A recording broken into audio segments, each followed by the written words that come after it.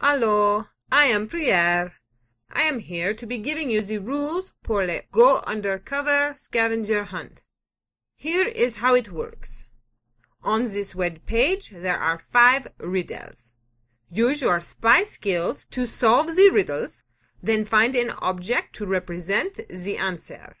For example, if the riddle was Kremlin locale, Russian capitale, Cold War counterpart, site of Gorky Park. Ah, this very simple. Answer is Moscow. Once you have discovered all five answers, you then must find an object to represent the answer of each question.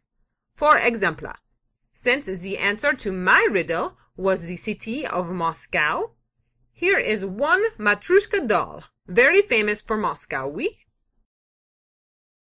If the riddles have flummoxed you, click on the hint button for assistance.